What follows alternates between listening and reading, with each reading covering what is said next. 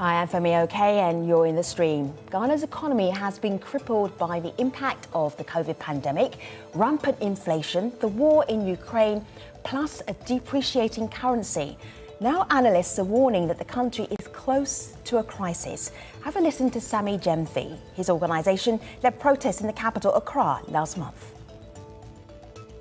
For the first time in the history of this Fourth Republic, the rate of inflation is hovering around 27, 28%. That is unprecedented. And that should tell you about the persistent and astronomical hikes in the prices of food, especially, and other basic commodities. So today, the ordinary Ghanaian is struggling to afford three square meals a day, not even two square meals a day, because we are suffering.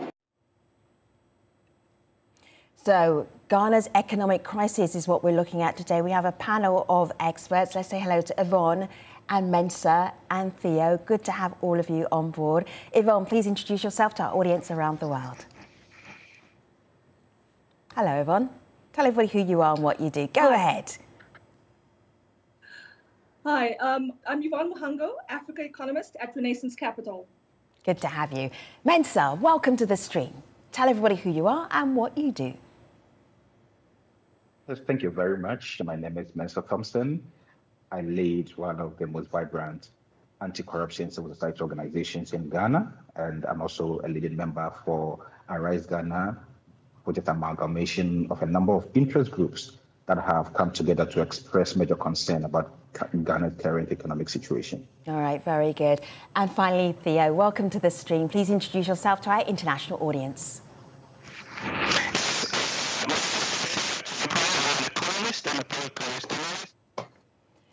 All right, so we don't hear Theo very carefully, but very, very well. But I will tell you that Theo is an economist and a political risk analyst. We will try and connect him back in just a moment. I want to take you to the market in Accra about a month ago. That's when Al Jazeera was out in Ghana reporting, just to get some grassroots economy and economic um, feedback from some people who know when the price My of food has gone up and when it's gone down. Let's have a listen. These days, things are so, so expensive. The prices are outrageous and it's, it's serious. It's, it's serious. We are crying out loud to the government to do something about it. I cannot buy, so I'm going. Because I'm having 8 cedis and she said 16 cedis and I cannot afford it. At first I, it was uh, 8 cedis and now it's 16 cedis, so times two. So I, I don't know what to do about it. Mensah, are you surprised to hear those opinions by the ladies in the market? Like, we can't afford these prices. How would you explain to our international audience what's going on? Absolutely not. I'm not. I'm not surprised. Um, the the warning signs has been there for the past two years. It only became aggravated uh, this past few weeks when now the people are beginning to realize that hey, um, we are in austerity and uh, people are beginning to uh, actually embrace the reality which uh, a lot of experts and analysts and, and uh, economic watchers have been have been sounding for quite some time now, and we are here uh, due to a number of issues which, uh, from our estimation, have very little to do with the global uh, economic climates, uh, i.e., the Russian-Ukrainian war, which you alluded to. Yeah. Uh, as far back as 2020, analysts so, have been warning the government. So, so, so Mensah, if you if you say that Ghana's issues are not connected to a couple of things that is impacting not just um, other African neighbours, but also the whole world. So, uh, Ukraine crisis uh, right now. Food has gone up and fuel has gone up around the whole world. Ghana's immune to that. That's not a problem for Ghana either. It is. It is to a very large extent. All right. But um, there are other neighboring countries who have also been hit uh, by this same global crisis, but not at the at the extent or degree which Ghana has been affected. And uh, Ghana, you know our performance on, on in the sub-region when it comes to economic issues. We are more like the buffer for the region, and so a lot of countries look up to us. Uh, and we we are of the firm belief that uh, if there was prudent economic management in the past two years. Ah. The level of impact this global geo uh, economic climate would have had on our larger economy would have been less severe than we are witnessing. Um, so you're so so so so, so Mensah, hold hold a tight one, one moment. I just want to bring back in Theo here. Um, so so Theo, what Mensah is saying that it's not these outside circumstances like COVID and uh, Ukraine and the Russia conflict. It's not that that's Ghana's essential problem.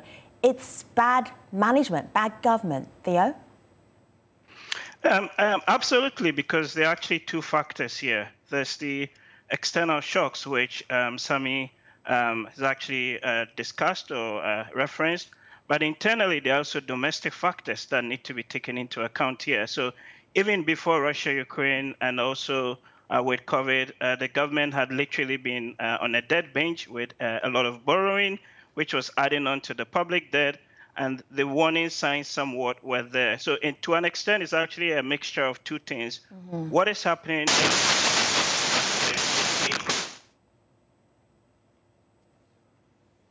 All right. So, so once again, our challenge is not just the economy in Ghana, but also our challenge is actually keying Theo. Theo, some of the, the thoughts that we are getting from our online community who are watching right now on YouTube, and I'm going to share this with Mensah as well. So, Mensah, um, on YouTube, our audience are wondering, well, isn't this just corruption in Ghana? And I have to say, as a Nigerian, I look to next door neighbor Ghana and I also think that it's like the standard, you set the standard high. How can you be in trouble in Ghana? Is it corruption? Extremely. And I, I think that uh, the kind of corruption we're witnessing now, uh, to a very large extent, um, is pretty much unprecedented. And um, for the past few days, we've seen a lot of you know, global um, internal reports being churned out by other um, development groups who are raising the concern about the massive corruption. And the problem with the corruption in Ghana at this moment is the, the brazen act of corruption and also the response from the government point of view. And we believe that it drives a lot of confidence away from the system because uh, the capital markets and the global uh, uh, uh, international players who are looking at Ghana, who are looking at how to help Ghana resolve its economic difficulties, are seeing these brazen acts of corruption that are being perpetuated every now and then, and they see very little action being taken. And so now people are become quite nervous about even lending to Ghana because they know that a huge chunk of these monies are going to be uh, dissipated through corruption. And the lack of political will and the sheer encouragement of corruption at the top level of governance, i.e., the presidency, is what is of major concern. And uh, for, for the past few days, the presidents have come under okay major criticisms over his confidence and his approach to the fight against corruption, who, which analysts have described him in a certain manner of uh, names which I don't want to repeat. Right. On, on, on all right. So, I, I, let, all right. Let me just bring in Yvonne, so you don't have to repeat yourself. Yvonne, I'm just looking here at some of the, the thoughts I've been getting in from Twitter. So inflation mm. is currently at 29% roughly. Uh, fuel, food and transportation are at an all-time high. But in 2019, I know that you were talking to IMF who were visiting Ghana at that time, and it was a very rosy picture. Can I ask what went wrong, or, or is that the right question? What is the right line of thought here, Yvonne, from your perspective? I think a big reason Ghana finds itself in this position today is the uh, crisis that have um, befallen the country since t- uh, 2020. So COVID, first of all, and now the Ukrainian invasion. As you rightly mentioned, um, I was in um, Accra early t- 2020. Um, at the time, the country or uh, the current administration had managed to bring down their budget deficit into the low single digits as a share of GDP.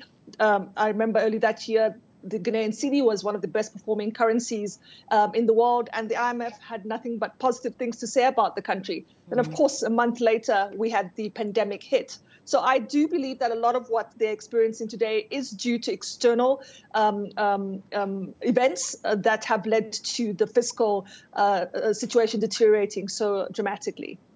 All right, so Mr. Kessa here on, on Twitter says this, Yvonne. If you cast your mind back to the 90s and early 2000s, one could see a pattern. Three key things stand out for Ghana's current economic woes lack of leadership, wrong social intervention, and corruption. Do you agree with any of those three points? Uh, corruption is not endemic to Ghana, I want to say. Mm-hmm. Um, but I think one of the um, um, uh, characteristics of Ghana that's been disappointing, particularly for the investors that we do speak to, is the fact that these fiscal crises seem to be recurring. Typically, though, they do occur in the run up to an election. And as we know, Ghana has a four year cycle. So when the current administration came into office in 2016, they had to clean up the fiscal uh, situation and bring down a deficit uh, uh dramatically.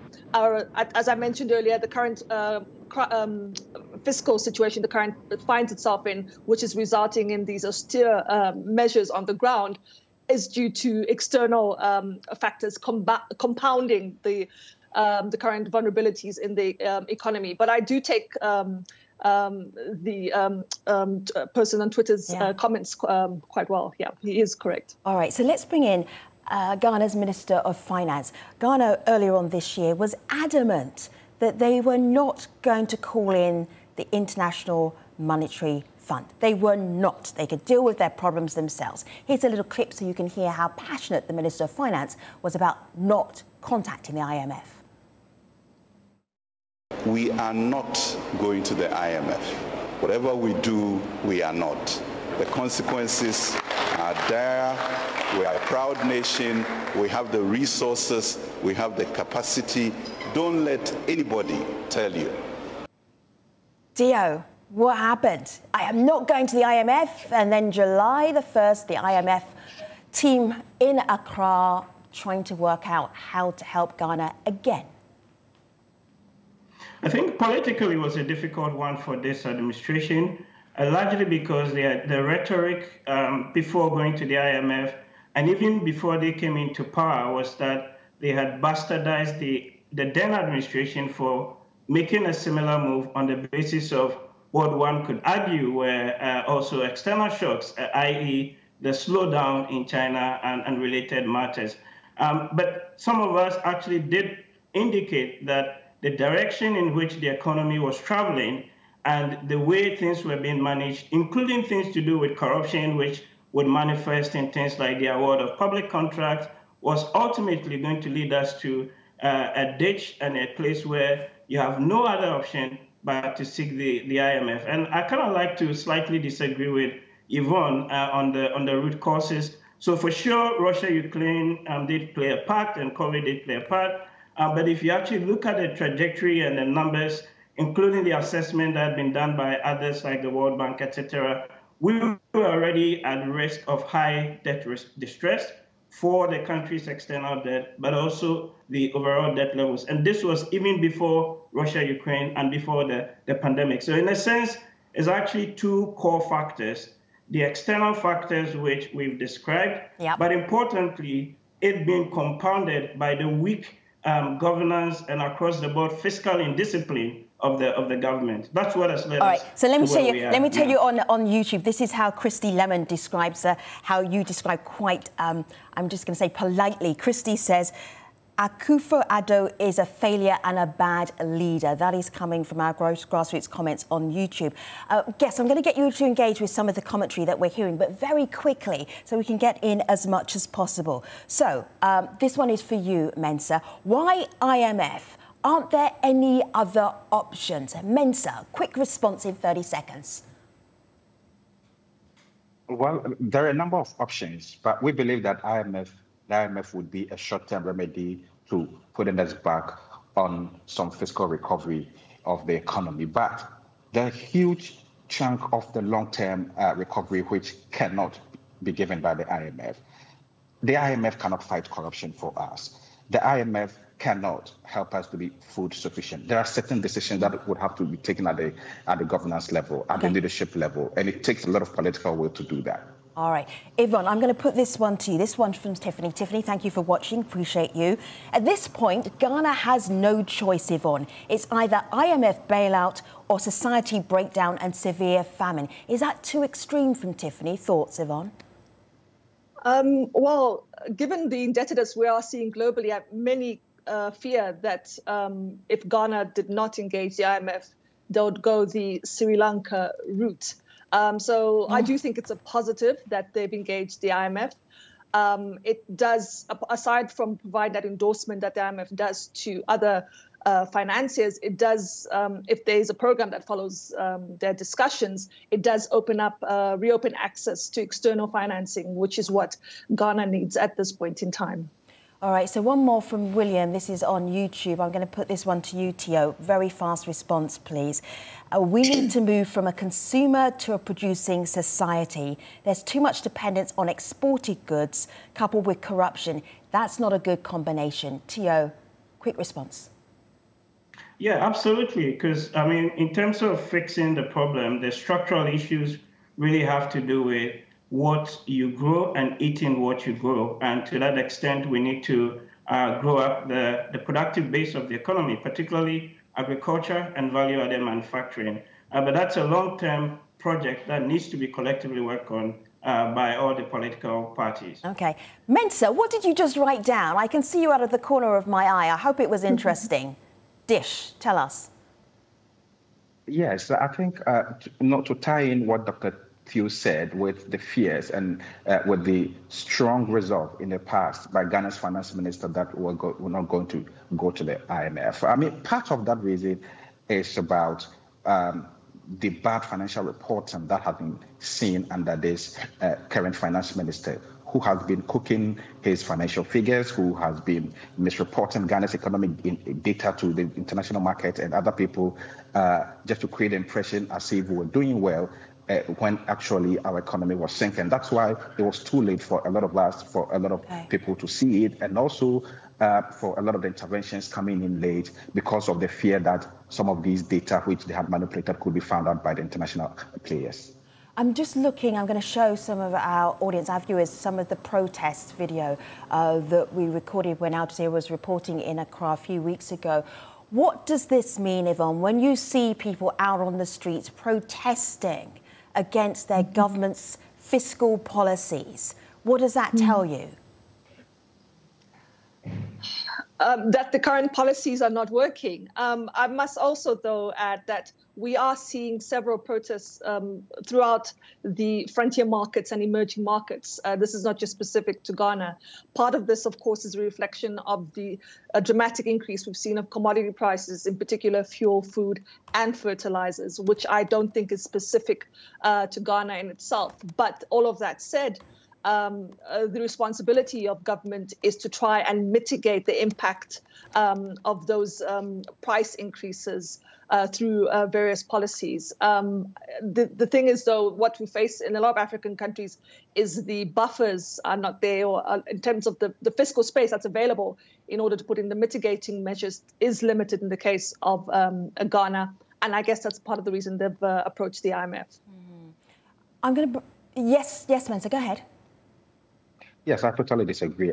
Even I think we are down here. We know exactly what has been going on for the last uh, couple of years that has led us to this stage. Yes, we know the global climate and all those. We know that these protests and these hardships are not uh, um, limited to only Ghana.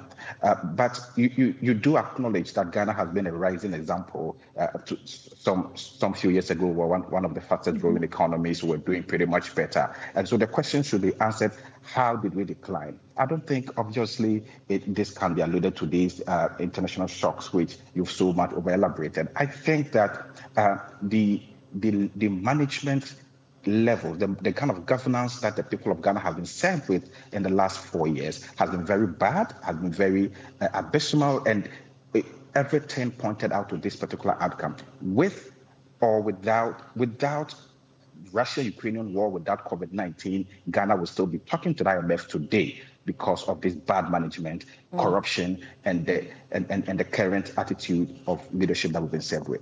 Yvonne, is that something that you could see in the future? Because in 2020, you were looking at a, a better future for Ghana. Just a and brief answer, because I'm going to move question. on to what do we yeah. what do we do next? Okay, go ahead, Yvonne. Okay, so no, my question uh, uh, for Sam uh, was to ask in, in, the first term of this administration from 2016 uh, to 2019, did we not see the uh, budget deficit being narrowed uh, substantially in the case of of Ghana? It, it's, it's as though the, my, the impression is that uh, Ghana at this point Yvonne, in time is being judged IMF, based on what has happened in the, the, in the economy since 2020. Yes, based on the data the finance minister has presented. You remember just a few years ago, the IMF had come to tell us that our deficit figures were not accurate because some two huge components of the budget had been treated as below the line, which is right, the energy so, sector so payments and, and, and, and also the, the, banking sector Mensah, payments. Mensah and Yvonne, I'm, I'm going to pause you just, just for a moment because I want to bring in another thought here and also some ideas. But I'm just going to tell our audience that this IMF bailout, if it happens, will be the 18th in Ghana's history. So Ghana repeatedly is asking for help, financial help from outside. This is not unusual for countries, but for Ghana, this is 18th time with the IMF in particular.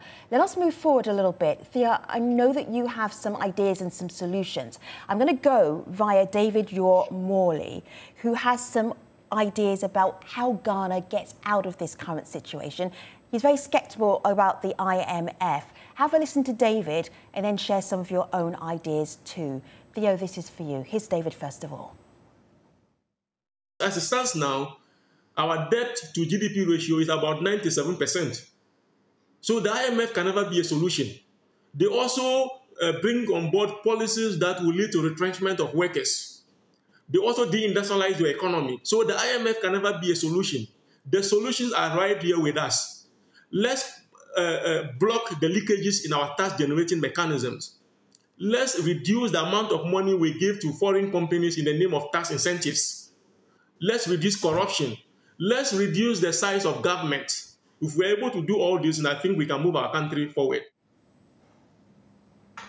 So just a quick correction to David's points. The debt to GDP ratio is actually now around 78%, 78. and not 97%. Uh, but I do agree with a lot of the points he's made. But I think fundamentally the starting point is for Ghana to actually agree a debt restructuring program as part of the IMF program, you know, with its uh, creditors. And this could be done under the, the G20 framework, you know, um, and it will give the country much, much uh, needed uh, space. Secondly, a lot of the points that David alluded to, which is that there's a lot of waste, there's, a lot of, you know, um, wastage within how we run the government machinery, and where you could actually then argue that the people that we appoint, the size of government, the ministers, and all the largest needs to be cut down. Uh, within that also, you need to actually implement the structural reforms that we agreed to. If you actually look at the last program that Ghana signed on to, many of the program areas which we said we would commit to, including reforming the payroll system, getting rid of pay, um, ghost workers, etc., that was not done. Um, and you know, if you don't do that, you will come back to the same issues. Thirdly, I think the issue really has to do with growing the economy. And an important point related to that, by which also Yvonne and um, Sami did allude to, is that part of the inflation issues we're seeing now actually is to do with the central bank deficit financing of the budget, where they're literally printing a little bit more money and engage in external operations, which is spiking or driving the inflation. So it's not just really due to Russia, Ukraine, and the effect of uh, COVID that is there, okay. but there are much, much more deeper issues that underpin where we are now uh, as a country. Because if you look around all across the sub-region, even you know Thanks, next door, Cote d'Ivoire, etc., you don't see similar issues, you know, at play in that regard. All right, let me let yes, me go to thank you so much, everybody. I'm going to share the final moments of our show with our YouTube audience because you have so much to say, uh, many of you. So, uh, Amos, government must reduce corruption. The unnecessary government spending is too much. Let's stop all of this and see our nation develop. Uh, economic forum, even if the expected IMF program comes with the much needed balance of payments support Ghana will still have to restructure its expenditure through fiscal contingency measures. So much wisdom in the YouTube comments. I hope the government of Ghana is watching this show. Thank you so much for being part of the program. Theo, Mensah and Yvonne and all of our viewers on YouTube. Appreciate you. I'll see you next time. Take care.